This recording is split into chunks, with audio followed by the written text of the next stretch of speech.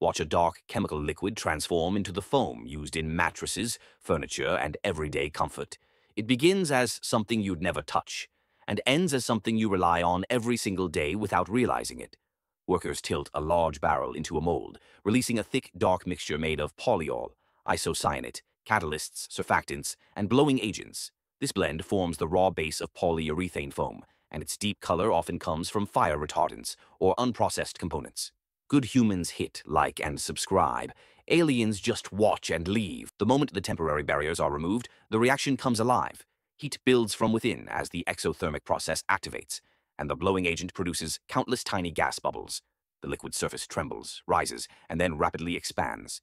What began as a glossy pool thickens, foams, and grows into a towering block of lightweight, spongy material reshaped in seconds by chemistry. After curing, the huge block is lifted from its mold and guided onto a specialized cutting platform.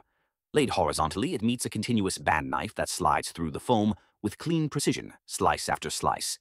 The block transforms into thin, uniform sheets. Workers stack each layer neatly, completing the journey from raw chemicals to soft, durable foam used in mattresses, upholstery, and everyday comfort.